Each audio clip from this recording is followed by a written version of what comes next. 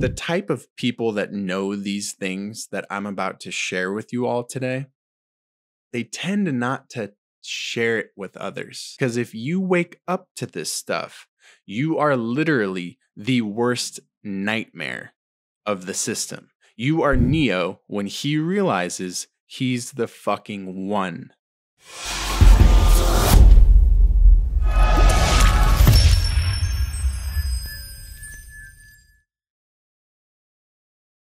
Welcome back, everyone, to the Conscious Wealth Podcast. Hope you guys enjoy the new setup. Got some lights going. We got some some books, some dictionaries going, legal dictionaries, of course, Black's Law, and uh, I'm excited to upgrade our content for you guys and hopefully allow this life changing information to reach the hands, minds, and hearts of more people who really, really need this information. So before we get into it today, just want to say thank you to each and every one of you who have shared this with a friend, shared this on social media, told even one friend about this, talked about these concepts to some of your loved ones. Any of that goes a really, really long way. And you never know the ripple effect of your actions. So that's why we're here today. And what we're going to be doing today is going to be a little bit different here on the Conscious Wealth podcast. Normally, I tend to just go on these nice rants, right? And I have a lot of information in my brain. Having said that, today I want to get a little bit more granular for you guys. And I want to give you an inside look at how we normally do things in the Level Up Collective. So, what we're going to be doing today is I'm going to be giving you guys a bit of a masterclass on etymology, which, for those of you who aren't aware, is the study of the origin of words. And if you are unfamiliar with this, this single concept, this single field of study, some of the seeds planted today can change your entire life. When you start to learn the power of words and you start to unlearn a lot of what you've been taught around what words supposedly mean, and you start to learn them for yourself rather than relying on others to tell you what things mean, which is what school does via memorization. You start to actually look, go to the source, the root, you find it yourself. What you start to find is this entire system all of the programming unravels because the truth is right in front of you we just don't read. The Bible talks about the truth shall set you free. And that is a spot on parable. And furthermore, to totally butcher another scripture, which I really like, Hosea 4 6 talks about how our people perish for lack of knowledge. We don't perish for the reasons we think, we perish for lack of knowledge, for ignorance. And where does knowledge start with? Well, how do we consume knowledge or transfer knowledge? Words. So, words literally make up the foundation of our 3D reality. And for most of us, we've never stopped to take inventory of are the words I'm using accurate? Are they empowering? Do they mean what I think they mean? And what are the second and third order consequences of using these words or allowing these words to be used on me via contracts or consent or some of these notions. So I'm really excited to dive into this today for you guys. Even put together a little presentation for you. So if you see me, you know, looking off to the side or whatever, that's because a lot of what we're going to be going into, I don't want to be telling you guys my opinion. I'm going to be bringing up definition after definition, fact after fact, right? I don't want this to be the Jeremy opinion show. I'm bringing you guys law. I'm bringing you guys scripture. I'm bringing you guys text, things you can dig into for yourself, right? So, without further ado, let's dive into our introduction to etymology. So, before we start, I want to cover a few different things. The first thing is when you've never actually met someone who legally lives by completely different rules than society tells you that you have to live by, it becomes next to impossible to strive for a better life. which is what I believe the life that our Creator has ordained for us. The type of people that know these things that I'm about to share with you all today, they tend not to share it with others. They tend to not tell anyone. They tend to keep it in the family. And I totally get why. They usually don't want to invite that trouble into their life. By simply sharing a lot of the things that I share on social, I've invited all sorts of energies that want to take truth down. So I get it. And then there's also people that are just so free, so content that they don't feel the need to share the wealth. I get that too. But I do believe we are here for service and we're all walking each other home. This is the least that I could do. So I hope you guys enjoy it. So, what we're going to be going over today is a roadmap of sorts. It's a blueprint showing you that there are, in fact, two possible realities that you can live in moving forward, exactly like The Matrix. Yet another reason why that's debatably my favorite movie of all time. You can take the red pill or you can take the blue pill, right? Split in the road. You take the blue pill, the story ends. You wake up in your bed and believe whatever you want to believe. You take the red pill, you stay in Wonderland, and I show you how deep the rabbit hole goes. One of these realities is stepping forth as a sovereign individual. And I don't want to get go down the rabbit hole of, you know, what does sovereign even mean? I'm not talking about becoming a sovereign citizen. That doesn't even make sense. We don't teach that. So please do not ask me that. I'm talking about metaphysically as well as components legally, i.e., living your life in the private, in the private domain, not as your shaman, etc. That's one reality. The other reality is you can continue living as a citizen. That first reality is all about you being a natural person, which is your living lowercase name. Your lowercase name represents you, the blood and flesh, natural living person. The other option, which most people choose due to convenience or ignorance or fear, whatever, is you are actually a corporation. And we're going to be getting into this a little bit as some of the basics. So, when you're a corporation, not only are you dead, you're legally dead, but you're also what's called a legal fiction, which I'll get into in a minute. This is your all caps name. So I want you to go look at the last bill you've got, and I want you to look at who it's addressed to. Is that addressed to your all caps name, or is that addressed to your lowercase name? Nine times out of 10, it's going to be your all caps name. And what do you do? You respond to that, i.e., consenting without knowing that's what you're doing, and you pay the bill or whatever it is. You take the liability. But that isn't you. They're tricking you. So let's go a little bit deeper. So before I move on, last thing I'm going to say for anyone who's currently not operating out of a private common law irrevocable trust out of the jurisdiction of the United States, you're subject to the jurisdiction of the In God We Trust, the United States Corporation. Yes, the United States is a corporation. Hopefully, you know that by now. This is why you may have noticed that life seems so hard. The laws and the rules only continue to get worse, right? More statutes, more mandates every single month, quarter, and year. Your freedoms are only going to continue to be taken away as a citizen because citizens have privileges. They've accepted privileges in exchange for losing their rights.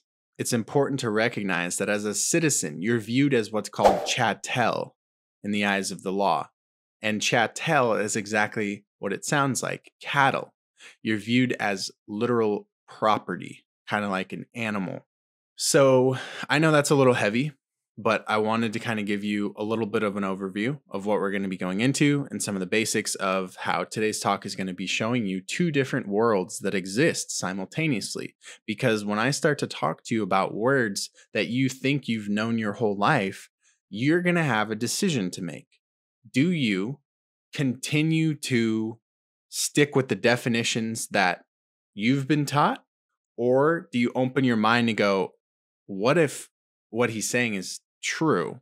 I'm going to look into this deeper and decide for myself. and the implications of that single conversation that you hopefully are going to have for yourself will alter the trajectory of your entire life. What does someone do when they've been living for 20, 30, 40 years under the understanding that here's the rules to life. Here's here's the meaning I've ascribed on life. And then they just one day are shown none of that is true. None of that is real. Welcome to my reality. All right. So I'm going to briefly just want to read a direct quote from a paralegal book. So, one of the training books you have to read when you're a paralegal to prepare you to take your tests that you need to take before you become certified as a paralegal. It says In the legal profession, the accurate use of words is crucial. Some lawyers, in fact, suggest that the practice of law rests almost entirely on the precise use of the English language. The following pages introduce you to a broad range of basic legal terminology needed to embark on a career as a paralegal. Complete familiarity with common legal words and phrases is required when creating and interpreting legal documents. Here's the most important part. As you'll see, inaccuracies that might strike a lay person, that's them talking about you, homie, aka a basic, might strike a lay person as trivial can give rise to serious legal consequences. This highlights the importance of both understanding basic legal terminology as well as using it. So I wanted to use that as somewhat of a preface so you guys can understand what's the big deal? What does it matter if, you know, my definition of a word is slightly different? Well, in law, it's a game of inches. It's a game of the most minute detail. It's like chess, but you have a microscope and you have to be deadly with your accuracy.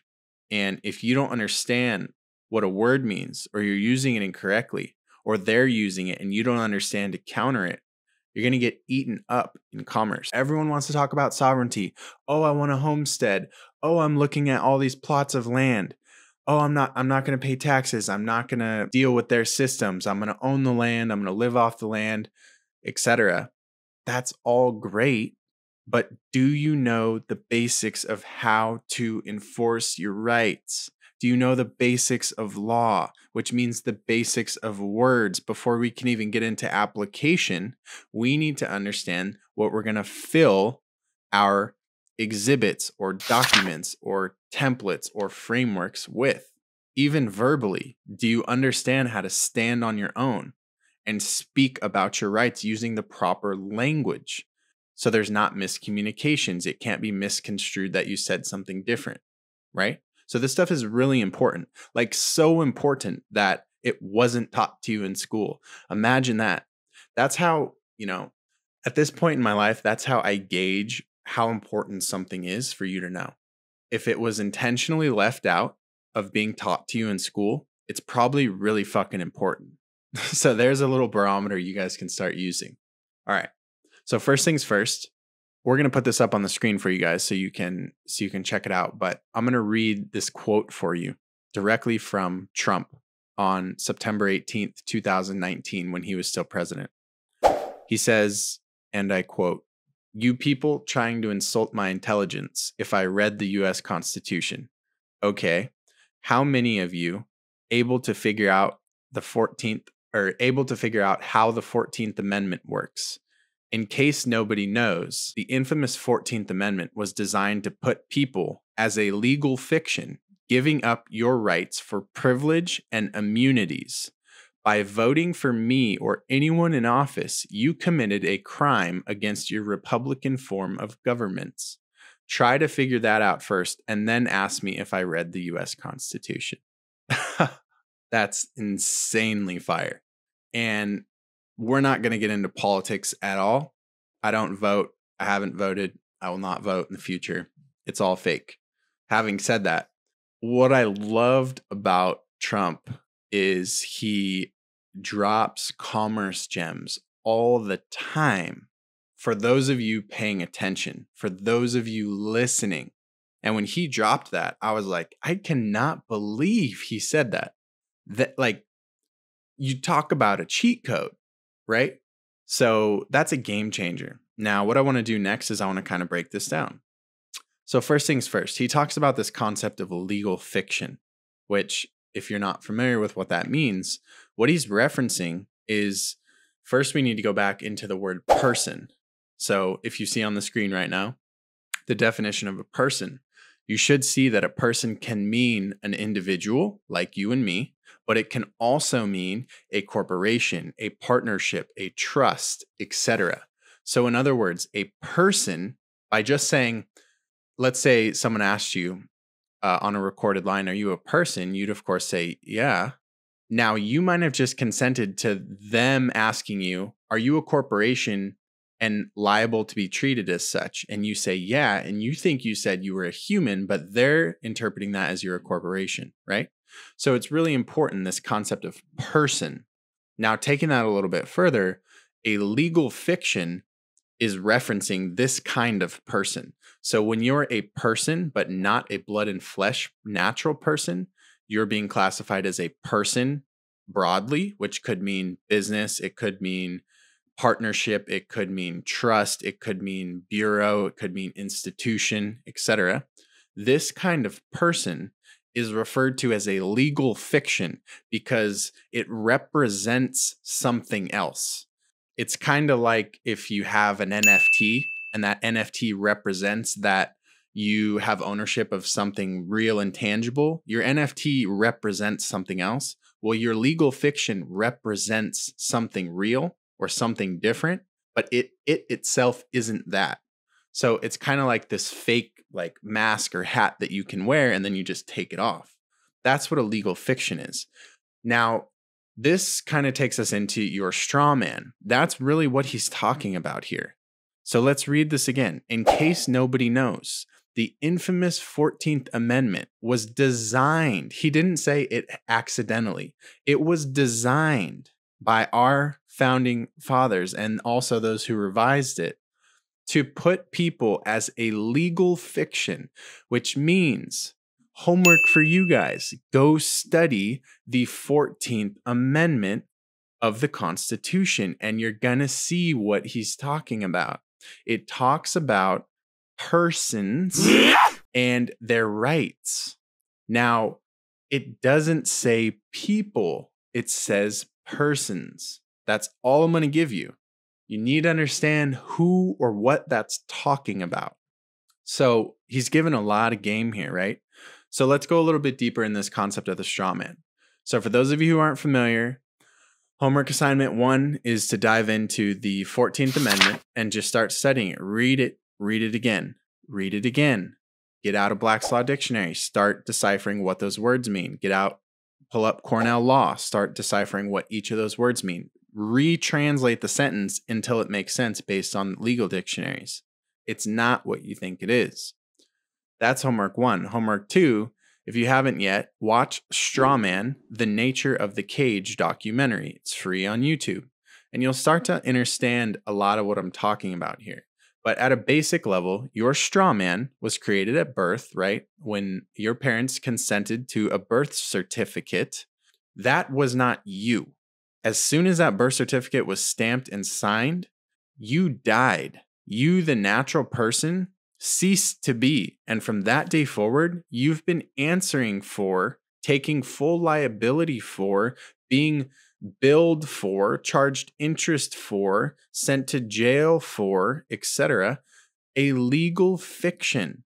The entire system of the United States corporation, every aspect of it, deals with legal fictions. There's no such thing as people anymore owning property. People cannot do commerce. People cannot exchange in barter or do business. People cannot pay taxes. People cannot go into business.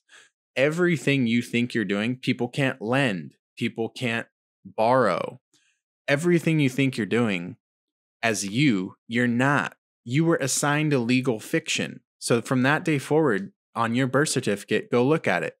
I'm going to guess it has your name in all caps and black ink. Now, black signifies death. Just think about it. Natural blood and flesh living beings sign in red. Is your name red on there? No, it's probably black. Okay, so sus, check one. Next, is your name lowercase like a natural living people? People, not person? Is it lowercase like a natural blood and flesh being? Or is it all caps? It's probably caps. Sus, check two. So you were assigned this at birth and you were put into a system where you've been traded publicly on the stock market. And it goes deeper and deeper and deeper. I don't want to blow you guys' faces off up front, but so this all caps name is called your straw man. Okay. That's the basics. You can go look into it if you want. Watch that documentary. You'll have a basic understanding. Now, this all caps name, it's a legal fiction, right? Back to Trump's tweet. It's a what's called a legal fiction. So it's a dead entity. It represents you, but it's not you. It's as if there's two parts of humans, and one is a legal fiction and it's fake and it's used like a poster to engage in the system. And then one is real and we don't know the difference between the two. And that is where all of our problems arise. That's where all of these problems arise. Okay. So, a corporation, let's start to get into words. Corporation. Do you remember in elementary school when they had you like sounding out syllables? Corporation, right? Like you had to break down, like, what does this mean? And then what does this mean? And then that's how you figured out advanced words until your unconscious mind memorized these things. So, corporation, there's two roots here corp, oration, right? Now, let's break those two down. Corp, Latin root, comes from corpse. Probably not, you know, I probably don't have to convince you of that. It's exactly how it sounds. Corp comes from corpse. What does corpse speak to or deal with? The dead. Okay, so the first part of this word means dead. Now let's go a little bit deeper oration. What is oration? Well, I want you to think about have you ever heard someone being described as a great orator? Or have you ever heard the word orate? That means to speak. If you're a great orator, you're a great speaker. So now we put these two together. And corporation means dead speak. Why does it mean dead speak? What the hell does that mean? Where does that come from? Well, I want you to think about what I've been talking about, about the black ink, about the legal fictions, and about your straw man. Dead entities cannot speak. What good is a phone call if you're unable to speak?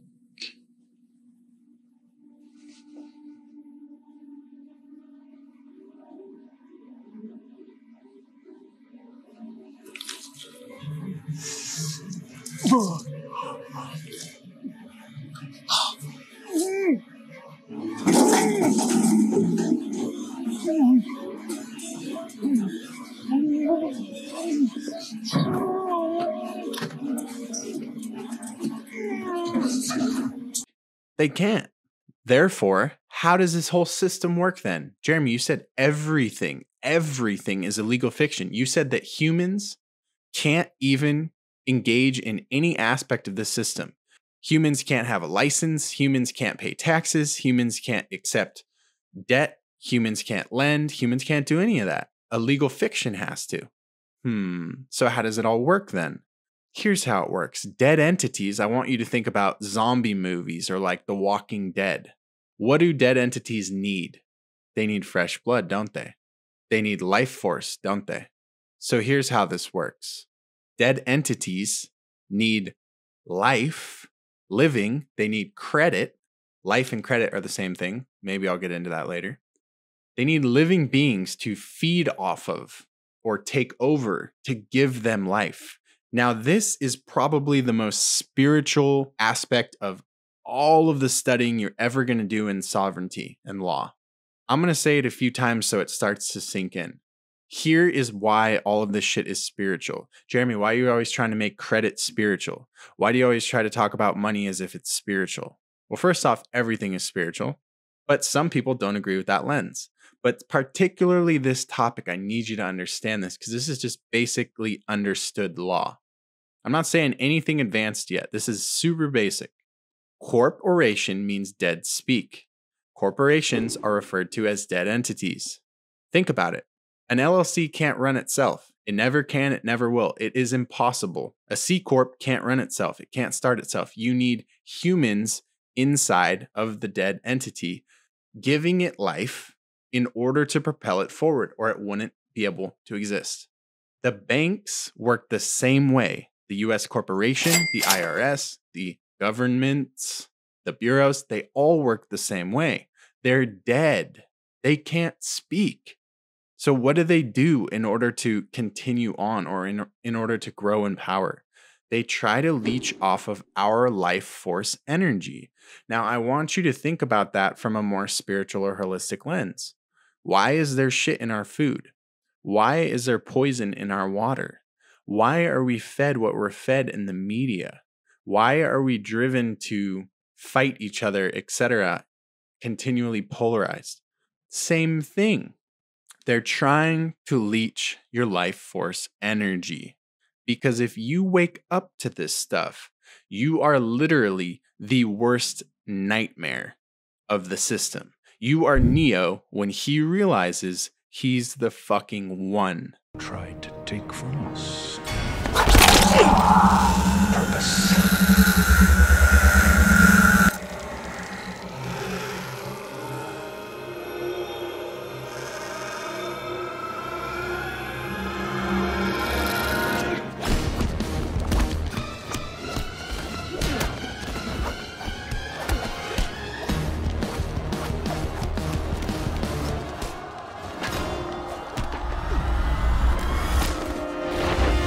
And Agent Smith loses it.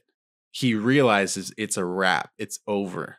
That's the gravity of this conversation. Whether or not you take it seriously is up to you. But this is realer than real. I can assure you, as someone who lives this life. So, this is the purpose of all US citizens and non sovereign persons. This is why they want you to have a birth certificate. This is why you get incorporated before you're to before you're of age to understand any of this. This is why your parents don't know this. This is why you've never been taught this. This is why I probably sound crazy. Because if you knew, you wouldn't consent. And if you don't consent, the system weakens. At scale, if we all stop consenting and turning ourselves into legal fictions, well, the system has to have legal fictions to run itself. And if it can't, it crumbles. This is what I mean when I talk about sovereignty. It's not about getting some passport. it's not about becoming some tribe. It's not even necessarily about going and living off of the land.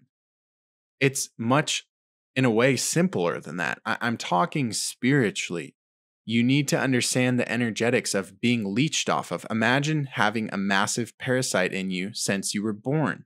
Well, now, guess what? You don't have to imagine anymore. You have one, it's massive. And imagine how different your life would look if you did a parasite cleanse. I'm talking metaphorically, of course, and you shit out a fucking garden snake. Well, guess what, guys? You have a garden snake in you. If you're a citizen, you have one. And you have a choice to take some things, aka devote yourself to the sovereignty process, learning law, learning to exert your rights, etc. And you can shit that out. What would your life look like? That is what I want you to think about. So, now I'm going to start to get a little bit deeper. We're going to go into Admiralty Maritime Law, which I made a post that was really popular. You got a lot of you shared it, a lot of you saved it. Thank you for that. If you haven't seen it, you can go check it out. It was a swipe file on water words. And I talked about Admiralty Maritime Law. And I want to get a little bit into it here where I can be a little bit more thorough and explain for you guys. But before I start, we'll put it up on the screen. But I want to show you the definition of Admiralty here, straight from Cornell Law. So it says Admiralty. Admiralty law or maritime law is the distinct body of law, both substantive and procedural, governing navigation and shipping. Topics associated with this field in legal reference works may include shipping, navigation, waters, commerce, seamen, towage, wharves, piers, docks, insurance, maritime liens, canals, and recreation. The courts and Congress seek to create a uniform body of admiralty law, both nationally and internationally, in order to facilitate commerce. The federal courts derive their exclusive jurisdiction over this field from the Judiciary Act of 1787. Sorry, 1789. I'll read one more one more excerpt from the last paragraph. Admiralty law in the United States developed from the British Admiralty courts present in most American colonies. These courts function separately from courts of law and equity. There's so much that I could say here, but just understand that when I talk about the United States being owned by Europe, being owned by Britain, being owned by foreign banking cartels, it's no coincidence that we used to deal in equity, which is fairness. Equity is an extremely fair way to go about law. And we somewhere along the line, apparently in 1787, slowly shifted, maybe not so slowly, but slyly shifted into Admiralty maritime law, treating humans. First, we have to trick them. We have to get them to consent and turn themselves into legal fictions, corporations. And then we have to govern them as if they're a vessel, a ship, right? So you it might not be clicking yet, you this is how you are governed. This is how corporations are governed and this is how you are governed. Why? Well, because admiralty maritime law is where all of the laws reside that fuck us. All of the unfair statutes, mandates, laws and legislation that just keeps coming out, keeps coming out, keeps coming out. This is all under the blanket realm of admiralty maritime law. And what happens with admiralty maritime law is your rights are pretty much screwed. And the solution, well, step one to the solution is you have to first understand why are you being governed that way? You're only being governed that way because you're consenting to being a legal fiction. If you were to remove yourself from consenting to being a legal fiction, now all of a sudden you can, for example, live and opt to be treated in a way under equity law or under common law, right? Private law, which is how humans, blood and flesh, natural people, were meant to live. So now we're going to go even deeper and we're going to talk about some water words. So the reason I want to break this down is so that you can understand so there's not there's not a shadow of a doubt in your mind around what what are you talking about, Jeremy? This, is, this seems like a stretch. So I'm always saying especially to my students, but even publicly, everything in life is commerce. Why is everything in life commerce? Because you were first turned into a legal fiction. Now, legal fictions are governed under Admiralty Maritime Law, and Admiralty Maritime Law treats every activity of a legal fiction as a commercial activity. I'm going to say that again. Step one, you were turned into a legal fiction. Step two, legal fictions don't have rights. Step three, legal fictions are governed under a body of law called Admiralty Maritime Law. Step four Admiralty Maritime Law treats every interaction as a contractual engagement in commerce. It treats everything you do because remember, you're a business, you're a legal fiction. So everything a business does is a business transaction, is it not? Everything a business does is commercial, is it not? So, Jeremy, why are you always saying all crimes are commercial? Why are you always saying everything is commerce? Because it is. You can't do anything that isn't commerce because you're a corporation right now. You're dead and you're being governed under Admiralty Maritime Law. So let's start to get into some water words and really breaking this down. And if you guys want to learn more about this, you're going to want to check out Jordan Maxwell's old work on Admiralty Maritime Law. He was an expert at etymology. he spent decades learning this stuff. So I'm just a student of the game here. But let's talk a little bit about it. So, first and foremost, for anyone familiar with ships or uh, navigation or anything like that at a basic level, you'll know that all ships are female, right? Why is that? Well, ships deliver product, don't they? And let's let's think in a commercial sense, right? We're not talking about fishing, blah blah blah. Like if you own a boat, we're talking about like the larger purpose of like what the oceans are really for, which has and always has been trade. So ships deliver product, right?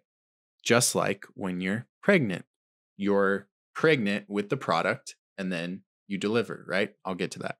So when you deliver, when your mom delivers, or if you're a woman, when you deliver, the child is the product. And when you come out as the child, you come out of what's called the birth canal, right? So I'm going to put up on the screen the word birth, and they give you a birth certificate. At that moment, they're monetizing you. You're the product. You came out of your mom. Your mom is the vessel, the ship. She's female because she births the product, just like a ship. You come out, and why is it called a birth canal? Where the hell did that come from? Why is it called a berth certificate? Well, we have to look at this word birth. The original word birth is B E R T H. And I'll have it up on the screen, but it says, comes from the 1620s. It used to mean a convenient sea room for ships or for sailors. What? Water word. Birth has everything to do with ships or sailors. But wait a minute. I thought my mom's a human and she birthed me. Remember what we're talking about. Your mom has a birth certificate. She birthed you. You have a birth certificate. So, an entity, a corporation, birthed an, a product, a corporation. This was a commercial activity, birth, even the most sacred thing on earth. A woman bringing life into the universe has been commercialized. And that is the fucking problem. So let's go a little further. Your body, your mom's body, now your body, is a business, it is a corporation. And when it dies, it becomes a corpse. Then we have ships. Ships are referred to as vessels, are they not? A vessel in the sea. But then we also have bodies. Don't we refer to our bodies as vessels? Like you only have one vessel, treat it well, right? We've all heard that, right? Or cleaning your vessel. Have you ever thought about that? Why do ships and bodies, why do they both allude to vessels? Same thing here. Because a ship is a commercial product. It carries product and then it comes into the birth canal, right? It docks in the birth and it product is offloaded. That's a commercial activity. Well, our bodies back to us being called chattel, our bodies are now thought of as vessels, but not the kind of vessel you're probably used to, like your meat suit, or thinking of it in that way. It is a commercial vessel. It is very much so viewed that way. A set of numbers, a product to be commercialized, taxed, etc. It's a legal fiction. So now let's go a little bit more into a little deeper into the concepts of court. So your court, when you go into court, there's what's called a court gate, right? Like when you walk through and it does this, right? That's called a floodgate. Have you ever, did you know that? If you've been to court, you know that. It's called a floodgate. Why is it called a floodgate? Have you ever thought about that? It's called a floodgate because you're entering onto the water. When you go through that gate, you just stepped off of land onto water. What? I'm going to say that again. When you go through that, you step off of land onto water. So, in other words, if you've ever consented or made the mistake of going into court unknowingly because they're calling your straw man into court, but you don't know that. So you think, oh shit, I have to go. I have to defend myself, uh, blah, blah, blah. I have to go to the hearing. And you go there. You, the natural person, are speaking on behalf of the legal fiction, and you don't know that. They're trying to talk to something dead, and you're speaking as a live person. When you step through the floodgate, you are now in Admiralty maritime jurisdiction. It is as if you stepped onto the water, onto a ship, and you are going to be governed as such. The truth is always in plain sight. It's always there. We just weren't, we were trained to not see it. That's what it is. So, unlearning is the most important step another parallel here when you're born, you come out of your mom's floodgate, if you think about it. So in here, you can think of that as it was land, it was earth, you were part of your mom. As soon as you came out of her, you came out of her floodgate, literally, there was a flood coming out when you came out, and you stepped into Admiralty Maritime jurisdiction. This stuff is crazy to think about. Let's go a little further. What happens if you get arrested? Here we go, dealing with the government policy enforcers again, courts, policy enforcers, cops, etc. So you get arrested. You have to get bailed out of jail, right? But what is a bail used for? A bail is like a shovel or a pail that's used to remove water from a ship, from a boat. Another water word, bailed. Now let's think about the banks. Where do you keep your money? In a bank. Interesting. What guides and directs water? Think of a river or a stream. Banks. River banks, right? Interesting. What happens when you want to send something, whether commercially or personally, even though when you personally send something, it is commercial. You just don't know that. You have to ship it. Ship. Shipping. Water word. What do we call liquidity or cash flow? We call it cash flow. We call it liquidity. Liquidate. If you want to sell something, liquidate it. Why are all of these water words? Because we're in a system treating us under the laws of Admiralty Maritime Jurisdiction, and we never, ever knew it.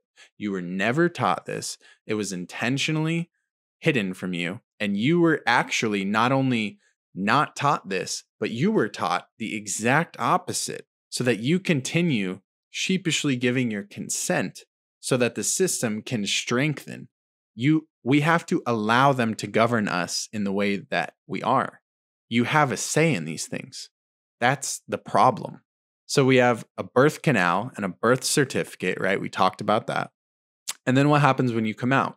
Well, you come out, and who needs to sign your birth certificate? The doctor, right? Doc. We often call him Doc, right? How are things looking, Doc? What is a dock? A dock is where ships tie up. More water words. Then there's a lot of times in the commercial systems, we use the word report, right? It can be used for any number of things. Report. What is that root word? Port. Port. It's one of the most common roots in the English language is port. There's a lot of words that come from the root of port. Port is alluding to water. So a report is alluding to water. So that's just a quick rundown of a lot of these water words and showing you just how right in front of us it has been this entire time. All of these water words.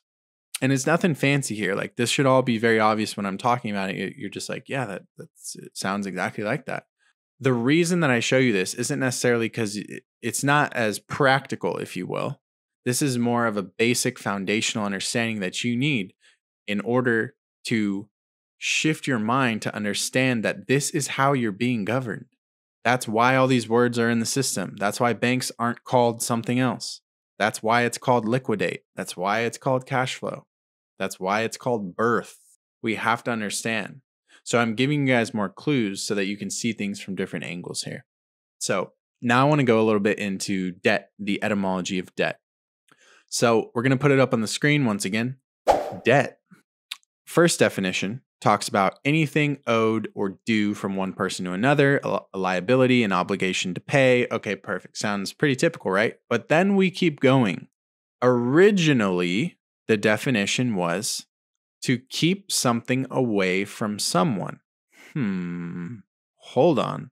Jeremy, you just taught us how we were turned into a legal fiction when we were just freshly born into the world. We were turned into a legal fiction, and that legal fictions are dead entities and they don't have rights. Then you taught us that dead entities are governed under maritime admiralty law, and that's where all of these problems come from. Then you taught us that the reason all crimes are commercial and the reason that all of life is commerce is because for our entire life, we've never had a waking moment where we weren't a dead entity living it and we were being treated as such. So, having said all of that, we should really understand now that credit is spiritual. And if we can start to understand that credit is spiritual, what do you think they are keeping away from you? Just look at the definition to keep something away from someone else. Hmm, maybe your power, maybe your freedom, maybe your understanding of who the fuck you actually are and how powerful you are as God's child. So, this is one of the basics. And I know many of you have probably learned this, but there's also going to be a lot of people who have. When you start to unravel, we first have to learn what words mean. Then we have to look into words we thought we knew what they meant. We start to realize, holy shit, this doesn't mean what it what I thought at all. Right? So let's keep going with this. Next, we're going to put up government. We're going to start to look at what is what does government mean? And this one, once again, I was talking about how we have to break down each of the little roots and we have to separately learn what they mean, right? So with government, we're going to have to put up govern and then we're going to have to put up men and then we're going to have to put up another angle of men. So govern, of course, it's talking about to rule with authority, to govern, to rule, to command, etc. Then when we go to the we'll go a little further. Once again, we're we're when we have the choice, we're always looking for the original definition, original. So if you can ever find where it says originally, what did it mean? That's what we're going for. Originally, govern meant to steer or to pilot. It even goes on to say to steer or to pilot a ship, which is hilarious to me because look at everything we've been talking about. If the government is supposedly an, an entity that helps guide the people in a system of humans. That's what we have been taught. And we start to look into the root of govern, and it's actually talking about it means to steer or pilot a ship. And we start to understand that this whole United States corporation is governed under Admiralty Maritime Law because not only is the government what you think of as the government a corporation, but what you think of as yourself and your mom and your dad and your friend and your neighbor are corporations. Everything is a ship. It's commerce. It's admiralty maritime. It's water. It's bananas how this has been in front of our eyes the whole time, but we were not taught this. So that's what govern meant. That's what govern itself means to steer, to pilot. Now let's go look over here at men, it talks about to the first definition it talks about is to think. The Proto Indo European root of men, M E N, is to think. And then I'm bringing up another one coming from the word mental, but it's just men. It says it comes from Sanskrit, meaning mind or spirit. Now let's put this together. So, govern the original root word of govern means to steer or pilot, and meant means the mind or spirit. Let's put them together. Government, to steer or pilot the mind and spirit. Welcome. Welcome to enlightenment. So, this is the power of learning words. And there's so many, you know, we could give 20 hours of, you know, education just on basic words. But we're going to leave that for you guys. I'm showing you how to think about things. I'm giving you a little bit of my spirit and my my awareness. But now, you know, we're going to be setting you guys free. I just wanted to show you a few different words. Debt does not mean what you think.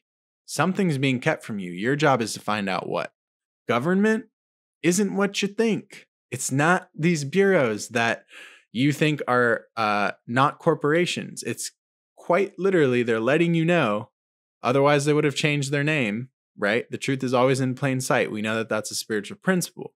They're letting you know that their job is to steer or pilot your mind and spirit. I don't know about you, but that's a no from me, dog, right? And if you're listening to this, if you watch our show, you listen to our show, I have a hunch that it's a no from you as well. So now we're going to break down uh, corporation. We'll put that on the screen. So there's going to be two parts. There's we can look at the word corporation, but we can also look at oration. So when we look at corporation from the mid 15th century, it talks about persons united in a body for some purpose. That sounds great. But we keep going, we keep going, we keep going. Where does it come from? We finally find a section where it says from corpus, and I quote, body, dead body, animal body. Okay. So corporation, if you look it up, and guys, this is all coming from etymology dictionary, the free etymology dictionary. There's a free app. You can also use it online. So you just type these words in and you will see everything I'm showing you. So corporation, it's letting us know that it comes from the root body or dead body. Okay, interesting. Now we look at oration. First, it's talking about a prayer, etc. Where does it come from? And I quote, speaking, speech, discourse, language. Okay. So exactly what I was telling you guys about. Corporation, dead body, but it's speaking. How is that working? Right? So it's dead speak or dead body speaking. So when I always tell you guys, dead entities don't have rights, or I tell you citizens don't have rights, or I just say, hey, you don't have rights. A lot of you might not fully, like the gears might not fully be turning clearly enough. So let me reiterate why I'm saying these things. It's not to be cute. It's not to be funny. It's not to be um, half truthful. I'm being literal. All cap citizens don't have rights because you're dead, and dead entities can't speak. You're treated and classified and done business with contractually, commercially, as a dead entity. And then we go out and we protest or we vote, even worse or we we do things where we think we're going to make a difference but you're a dead entity with a picket sign. You're a dead entity thinking you're going to the ballot box and making a difference. You're not even being honored as a living soul. You're a number. You're in a database. You're being commercialized. You're being sold on the stock exchange. If only you knew that when you came out of your mom you were stamped and put on the conveyor belt and turned into a product. That's why it's called a birth canal, right? So these entities, they need your credit, they need your life. And I haven't gotten too much into the credit side of it. But for those of you who do your studying, those of you who are aware, we are the original creditors. Whenever you enter into banking or commercial relationships with anything or anyone, because you have a social or a signature that grants all of the credit in the system. It doesn't come from the system and then we borrow it. It comes from us and then the system borrows it. They're the debtors. They trick us and get us to consent to being the debtors, but that's not the situation. So it's important you understand that your credit is life. Because you're alive, a natural person, you have credit. If you were dead, you wouldn't have credit. Does that make sense? All credit comes from life. This is more of a spiritual understanding. And what all of these dead entities that make up the system that we were born into do and need to do is leech off of you. And they can't do that if you know their tricks. See the problem here? See why you weren't taught this? so, what is a credit report? We're going to put these up on the screen as well. Credit and then report. So, credit per the 1540s means to believe or to be sure of the truth of is credit. To believe or to be sure of the truth of. And then report, as of the late 14th century, means rumor. One of the definitions rumor. So, credit report, let's put it together. To believe a rumor or to be sure of the truth of a rumor. Interesting. Is that not the whole issue with Experian, Equifax, TransUnion, CRAs, consumer reporting agencies that call themselves bureaus? They have nothing to do with the government. These are for profit corporations. Isn't that the whole issue? They're reporting rumors.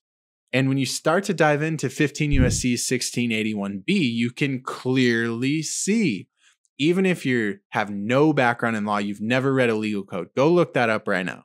15 USC 1681B. I want you to read right there where it tells you consumer reporting agencies are only allowed to report things on your credit under the following circumstances and no other.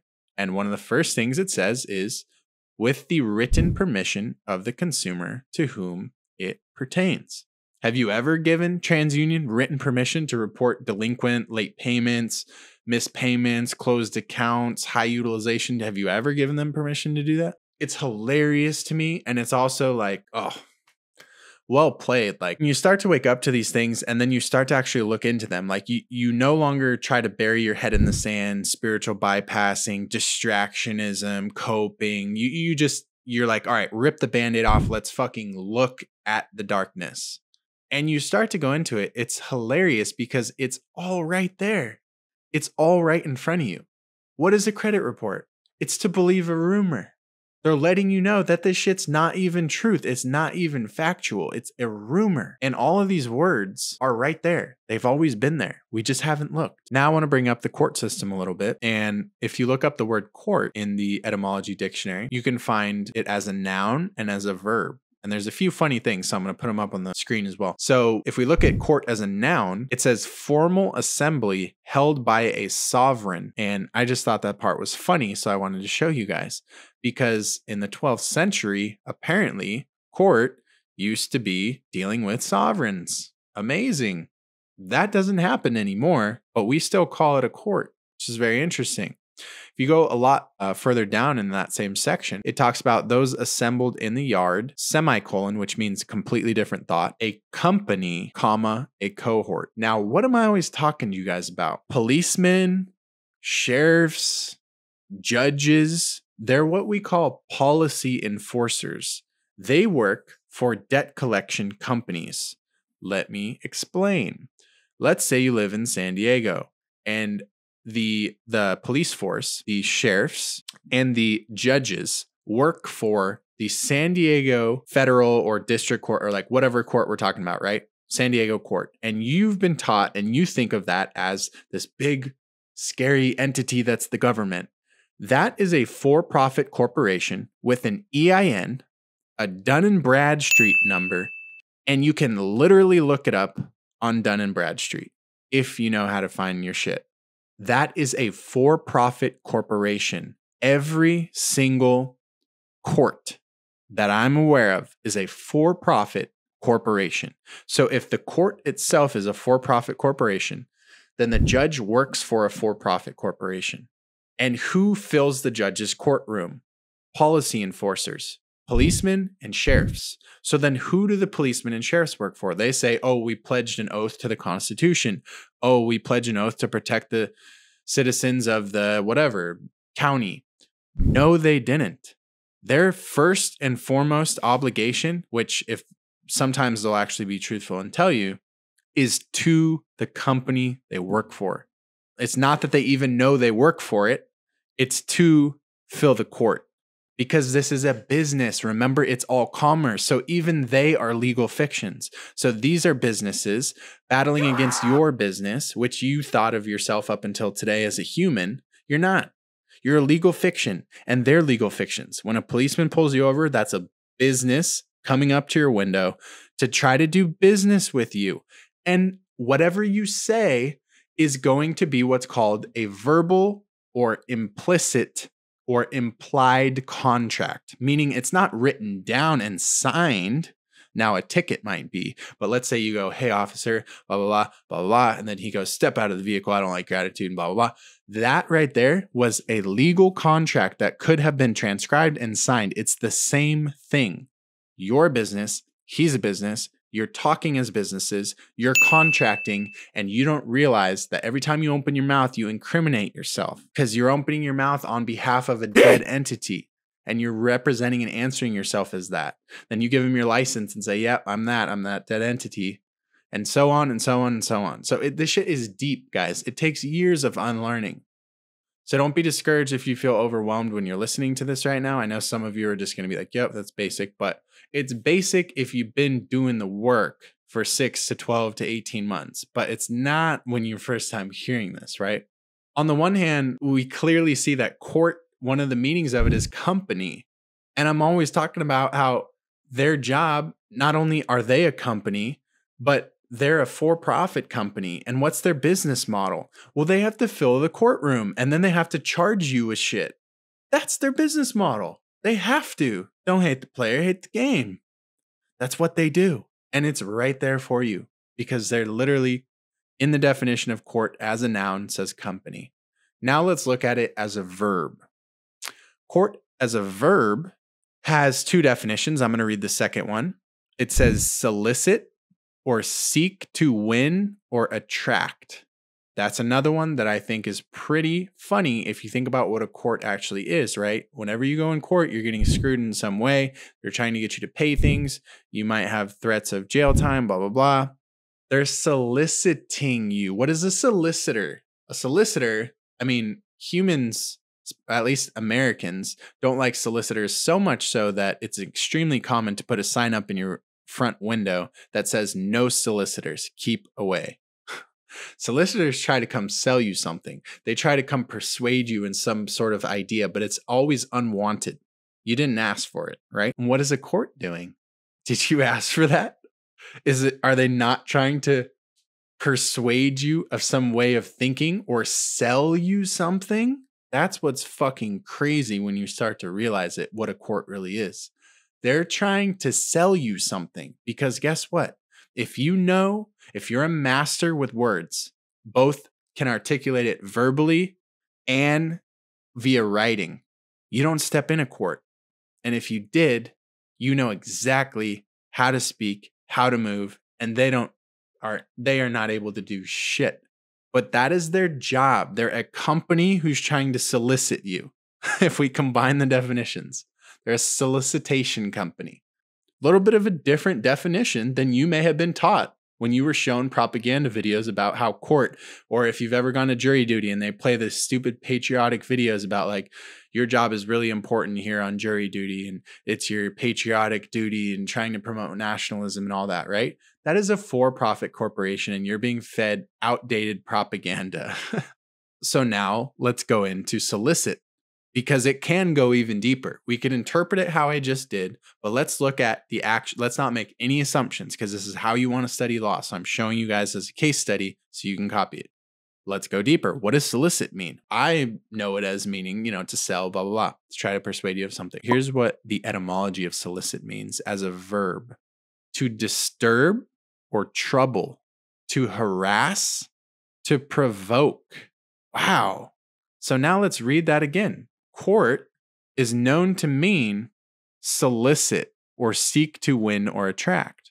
Solicit. So if court is to solicit, well, what is solicit? So court is to disturb. So to court someone, to bring them into a court, is to disturb them, is to trouble them, is to harass them, is to provoke them. Imagine that. What do they do in courtrooms? They try to incriminate you. Everything about it, from the way it's laid out in an intimidating manner, to the way that they make you feel, to the way that they make you wait, to how cold of an atmosphere it is, to how they try to intimidate you and make you think that you can never speak for yourself and you always need an attorney. Everything about the court system is meant to break you, to disturb you, to provoke you. So you trip up so they can get their hard earned dollars. this shit goes deep. And we're going to go a little bit deeper and we're going to talk about the bar. So, for those of you who are unaware, lawyers have to pass what's called the bar test. They pledge an oath to the bar. A well known thing. Lawyers are what's called bar certified, or they have passed the bar if they are a lawyer. At least in America, I know how that is, as well as Europe. So, we look up the word bar, which we're going to put on the screen. Talks about whole body of lawyers, legal profession, etc. It has perfect, right? But then let's go to the bottom. It says, as a place where the business of court was done. Hold up. What? Jeremy's not playing around. No, he's not. like I said, I keep my I try to keep my conspiracy theories to myself. I don't put shit out that I can't back up. Reason being, I don't want to be that person that's putting something out, gets called out, and they're like, oh, I don't really have any proof, right? I'm not trying to persuade people to think ludicrous shit that ha- that, that there's no proof of. This is the law. It's just really hard to see outside of our own existing beliefs. So let's read this again. Once again, lawyers have to pass the bar. Bar certified. Go look it up. It's very common. You have to pass the bar if you're going to be a practicing lawyer. And what are we told in America, at least, and Europe? We're told if you ever have any legal trouble, you need an attorney or a lawyer to represent you. You cannot, you do not represent yourself. That is what we are taught. Huh, how convenient. And when we look at the bar at the bottom here, it says, as a place, as the place where the business of court was done. Hmm. So they're letting you know right there court is a business. It's been a business. It will continue to be a business. And you will continue to be on the losing end of that commercial transaction if you do not decide that this stuff, that this lifestyle, that this awakening and then embodiment and integration is worth your time. I also want to go into one more thing. So we see, I, I skipped to the end there, but I do want to read this middle section. It says after 1600, however, this was popularly assumed to mean the bar in a courtroom. So it has multiple meanings here. The wooden railing marking off the area around the judge's seat where prisoners stood for arraignment and where a barrister stood to plea. Okay. Well, now we need to know what's a barrister because I don't know off the top of my head, or at least I didn't. And you don't just want to assume things, especially when you're studying law. So it outlines the judge's seat. We get that. The more important part I want to go into here is where prisoners stood for arraignment and where a barrister stood to plea. Well, what's a barrister? So now we're going to bring up barrister on the screen. Barrister is defined as one practicing as an advocate in English courts of law. Holy shit this is just coming full circle so beautifully. You guys ready? So, I've talked about this a lot in our community. Hopefully, you guys are aware of this. I've talked about it on other podcasts repeatedly. The United States is a corporation. Corporations have CEOs, founders, boards, etc., right? The United States Corporation, you can also think of it as what's called the In God We Trust, different names, is owned by Europe. It is owned by England, Britain, old banking families, the crown, if you want to look into that. Now, we start to talk about the bar and we get into this concept of barrister. Okay, so the bar has always been referencing the business of court, how it was done. Okay, it also means where a barrister stood to plea. So as of now, let's assume it's a coincidence that the bar, the same test, why did they call it the bar test? Why did they have to make it called the bar for lawyers and attorneys? You have to pass the bar. Well, we're looking at the other definitions of the bar, and we're seeing that it used to mean where a barrister stood to plea. And when we look at what a barrister means, it's one practicing as an advocate in English courts of law. But we're in America. Why are we using the bar? Why do we require our attorneys and lawyers to pass the bar? Why are we told we can't self represent and we're intimidated, coerced, and forced into hiring lawyers or attorneys who work for the bar? What is the bar? Well, the bar is an association that isn't even American. It is owned by the same European, English, British, cartels, families that I'm talking about that own the United States corporation. That is who created the bar. Go research it. So, what tests do all lawyers and attorneys have to pass to become licensed? The bar. We established that. So, they're practicing, per the definition of bar, a business of court for a foreign land. For a foreign land. England is foreign to the US, is it not? We know that barrister is referencing an advocate in English courts. People that pass the bar are typically American attorneys, American lawyers. So this is where you start to go, hmm, something's not adding up. Why is this required? Why is it such a strong system with a monopoly? There's no way around it. You have to be certified in that. There's no other options. And why is the bar not even American? Who's controlling the curriculum of the bar? Hmm. Maybe those that created it? So once again, we have a conflict of interest because we have what you've been taught is a nation called the United States, but it's not, it's a corporation. And you've been taught that a bunch of people, millions and millions of people, make up a nation. And you all share values and similarities and land and etc. But that's not what it is at all. You none of you are people. You're all persons. You're all corporate legal fictions. And you all are inside of one giant corporation called the United States. And a select few who are lucky enough reach levels of consciousness high enough to see what's going on and break out of that. The Matrix is a system, Neo. That system is our enemy.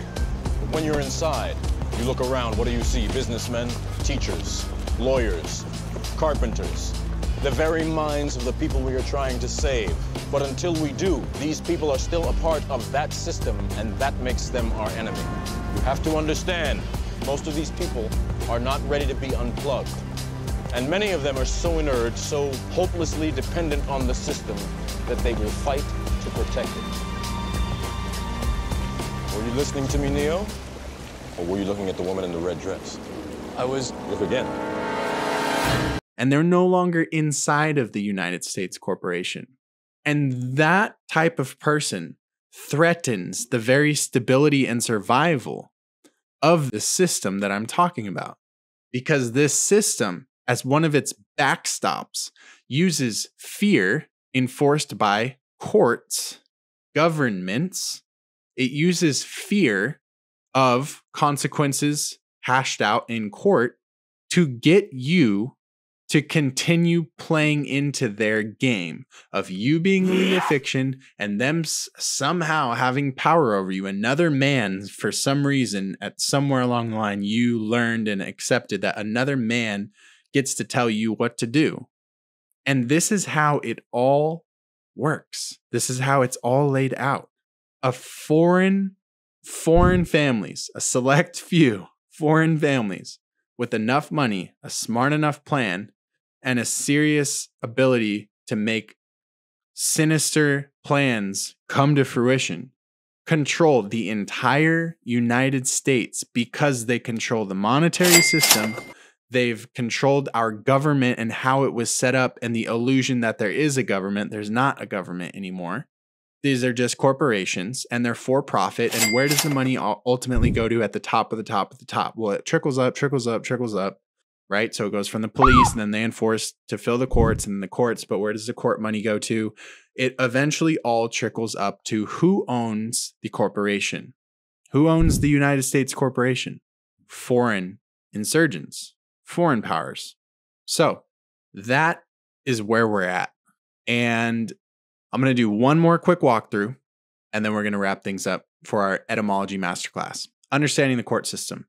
When you walk through the gate of a courtroom, you walk through what's called the floodgate, water word.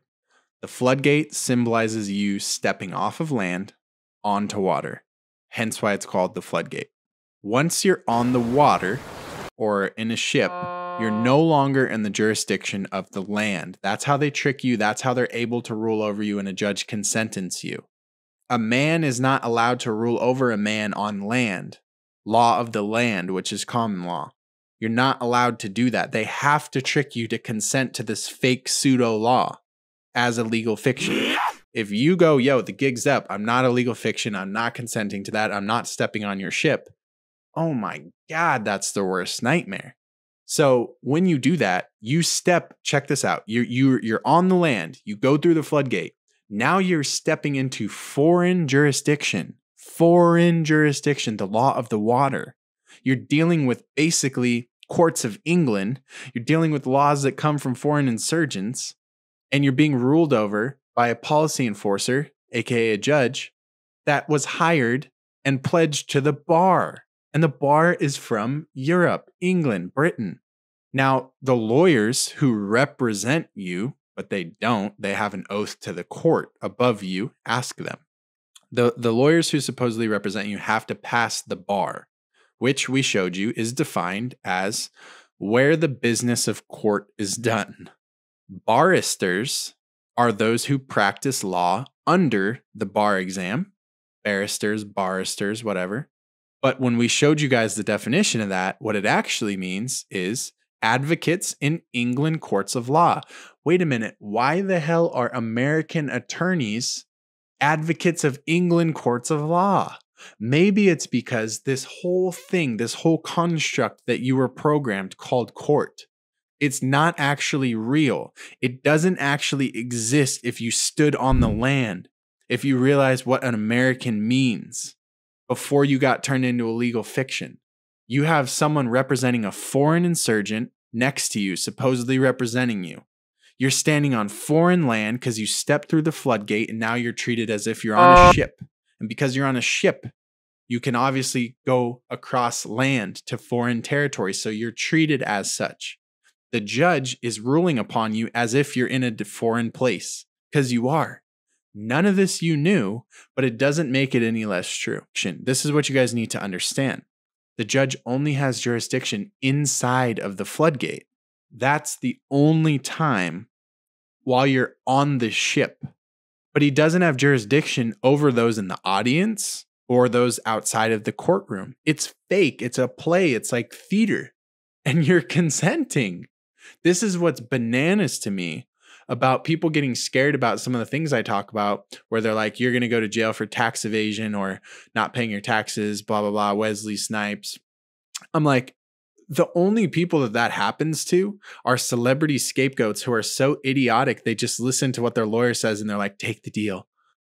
They're just treated as a, as a legal fiction and they deserve that because of their lack of education and knowledge. So back to Deuteronomy 15 for those of you who haven't studied that that is a master class on commerce go go study that. Deuteronomy 15 what did Deuteronomy tell us about how we should be interacting and doing commerce with foreigners that's your homework one of them I've given you a few go look at what straight from God's mouth God's law what did Deuteronomy tell us about how we should be interacting with and doing commerce with foreigners. Because now you're learning all of this is foreigners. When you go in a court, you're dealing with foreigners. When you're talking to an attorney, you're dealing with a foreigner. I know it doesn't seem like it. They can be born and raised in America. It doesn't matter. Nothing is what it seems, right? Even you, your whole life, you've looked in the mirror and you're like, I'm a person. No, you're not. You're a legal fiction. Life is not what it seems. And this is why The Matrix is like the most accurate commerce movie of all time. It's not what you think. Nothing is. Now, when we when we want to bring it full circle, I've taught on this. Hopefully, you guys uh, recall who took over the United States Inc. after the United States state, back when it actually was a, a state, a nation, a body. Who took over after it went bankrupt in the late 1800s, early 1900s? Who took over? Foreign powers. I've talked about it repeatedly. I've done a podcast on it foreign insurgents. That is who I was talking about. Those foreign insurgents, foreign families, English, British, crown. They bought the US on sale, turned us all into property, turned the US into a corporation, but no one told anyone. They could not have that out. And we're still in that system right now. And so the courts, the bar, maritime, all of it. It's an elaborate hoax. It's a play. It's a theater. It's a psyop.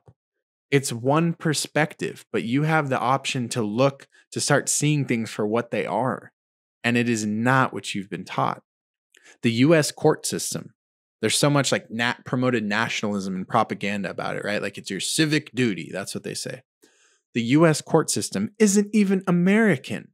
The US is a corporate, like, I, I really want you to zoom out. Close your eyes right now, and I want you to think about this. Let's think about the publicly traded company Apple.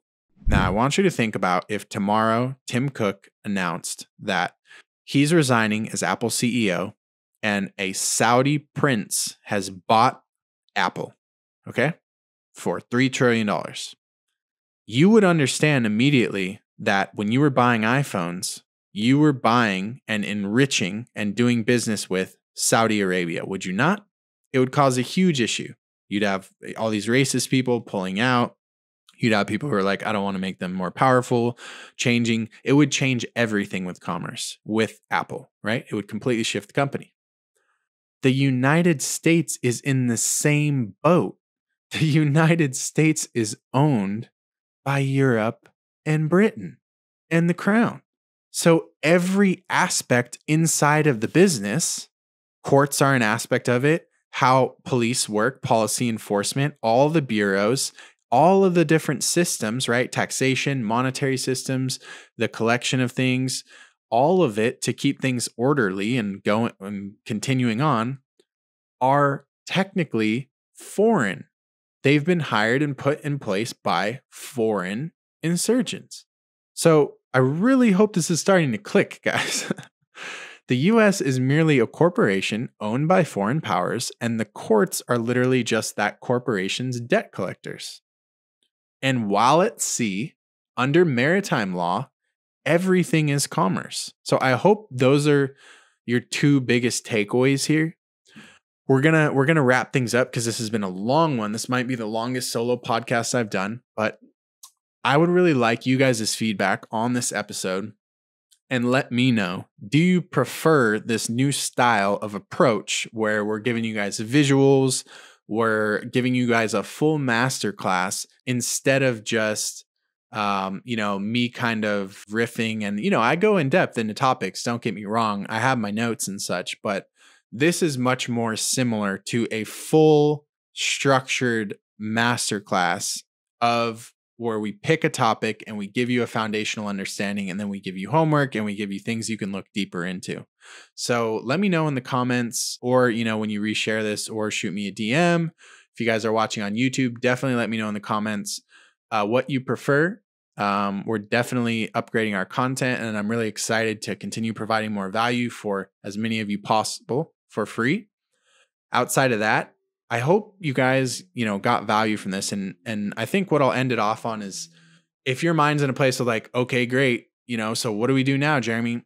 I understand that's gonna be uh, common for the brain to do when you consume information like this. It's it's looking to make meaning. It's trying to turn chaos into order. But what I need to remind you of is that now is not the time for you to go, what do I do about it? How do I take action? I'm ready. I just introduced you to the very basics of words. You should spend the next few months going into Black's Law 4th edition, the dictionary of word origins, the dictionary of banking terms, Black's Law Dictionary 11th edition deluxe, and the Bible. These are up here for a reason. They're not just for looks you have to start with the basis. It's just like when you were learning English. You had to first learn letters before you could learn words, and you had to first learn words before you could do sentences. Think of going sovereign or removing yourself from the tax system or correcting your status or discharging debt. Think of those things as writing complex sentences first you have to learn letters and then you have to learn words and that's going to take practice and repetition until your subconscious mind understands all of this at a default level which takes first unlearning then relearning. So take this as more of an awareness episode more of an expand your mind episode and now you have homework to do. You have work to do. You have some books to get. You have some study to start doing consistently, going into your own words, starting to make sense of your own things, starting to take your own notes so that you can literally rewrite the scripts that dictate your awareness of what words mean, what is true, what isn't true. And that is going to strip away so much fear and give you so much strength that you'll stand a way better chance spiritually of actually seeing this through. Because you should not start this path if you are not ready to see it through all the way. And I can assure you, this is spiritual warfare. This is not for the faint of heart. I know sovereignty is trendy and it's sexy and it's a buzzword right now, but a big focus of my content is letting people know realistically what this life takes. We never sell people on a quick fix or a pipe dream. If you're not willing to put in a year, two years, five years, do not start. So, with that, thank you guys so much for tuning in. If you've watched until the very end, we appreciate you so much. Please let us know below how we did. Let us know any feedback you have for us. Which content style did you like best? And we will catch you guys in the next episode. Peace and love, my friends.